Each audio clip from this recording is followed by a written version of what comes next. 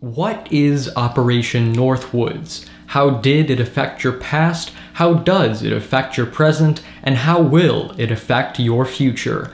My name is Andrew Demeter, reporting on behalf of Press for Truth, and today I have some answers to those vital questions. So to begin with, let's track back to 1962, where the Joint Chiefs of Staff of the United States from within the Pentagon are drafting a top secret memorandum dubbed Operation Northwoods, or at the time alternatively named Justification for U.S. Military Intervention in Cuba. So, what was Operation Northwoods, the document, specifically about, and what type of information and intelligence did it chronicle?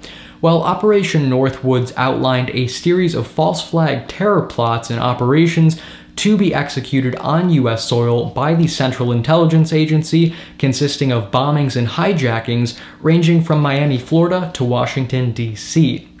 But why would the American government, in the land of the free and home of the brave, be so willing to jeopardize the lives and well being of their own American civilians? Well, the answer to that is right within the document, and I'll quote it in just a second. But the intention of these false flag attacks and operations was to, in essence, frame Cubans as the perpetrators and patsies of these attacks as a means to fabricate a false pretext for the US military invasion into Cuba to both oust Fidel Castro for political aims and dismantle his communistic reign.